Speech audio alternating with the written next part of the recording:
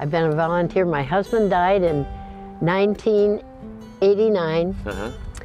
and as a way of curing, I raked and raked and uh-huh. raked and raked and raked.